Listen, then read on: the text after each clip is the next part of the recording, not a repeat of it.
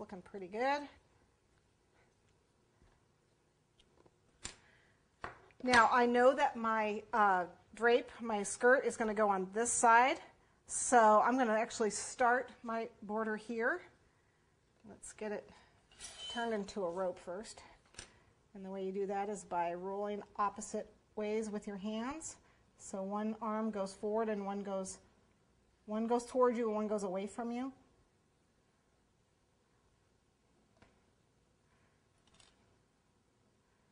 See? Okay. And then what I need is a little bit of water at the base of this cake. Again, this is where my ruffle's going to be, so I'm going to start and stop it here.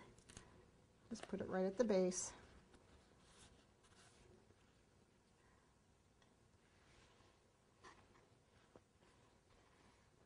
Don't worry about this extra um, uh, cornstarch because it'll give it off. Okay. I lost my little rope part there. There we go. Actually, this is more than more than enough. Made it all the way around.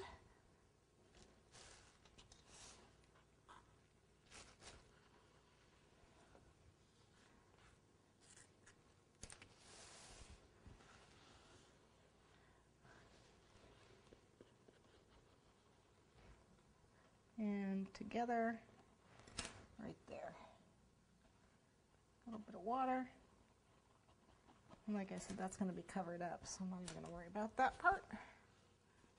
It's going to be covered up. All I care about is this front. And we'll clean that up. Actually going to steam my cake at the end. I'm going to steam it to make it shiny. So I have my steamer. I have a portable steamer that we're going to use. Forgot to show it to you. It's back there. Okay. We are going to use this again, but we're going to use it for um, white. So I want to get the red out of here. Make sure all the red is out. Otherwise my white's going to come out a funny color. And this ruffle, again, it's going to be about five and a quarter inches long. And my pasta machine is only, well, it's about five and a half inches at the most. So we are probably just going to make it using our pasta machine. You can roll this out by hand, but it sure does save a lot of time to use the pasta machine. It's best if you have a little bit of Tylose in your fondant or mix it with gum paste. I guess I got to knead this a little bit better because it's not kneaded quite, right? Knead it so the color is nice and even. Yep. There we go. And then we need to roll it thin enough so it'll get in the pasta machine. I normally have a big rolling pin, but I don't have it with me.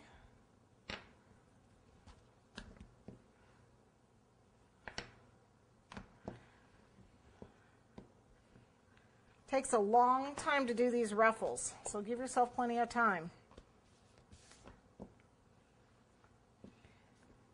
Say it'd probably take me about 30 minutes to do this ruffle.